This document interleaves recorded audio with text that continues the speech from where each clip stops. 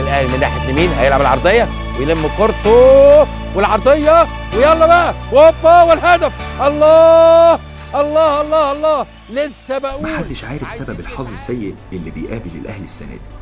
من بداية الموسم أو بالظبط كده من نهاية الموسم اللي فات كتير من الجماهير بتنتقد الأداء الفني للأهلي إنه أقل بكتير من السنين اللي فاتت وإن الإدارة ما قدرتش تعمل صفقات كويسة زي اللي عملها الزمالك. عشان كده الأهلي مش قادر يتصدر الدوري. بس الموضوع مش حكاية صفقات. في حالة حظ سيئة قابلت الأهلي الموسم ده. يمكن ما تعرضش ليها فريق قد الأهلي وهي الإصابات. السنة دي مفيش لاعب في الأهلي ما اتصابش. حتى اللي ما بيلعبوش أصلا اتصابوا.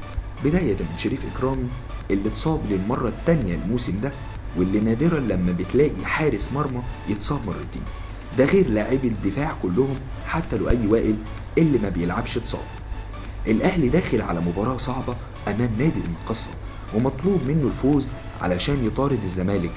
بس المشكلة لو جينا نحسب عدد اللعيبة اللي هتغيب عن الأهلي الماتش اللي جاي حاجة تصدم الجماهير لأنه هيغيب أربع لاعبين أساسيين للإيقاف وهم حسام غالي وعبد الله السعيد وليد سليمان ومحمد نجيب.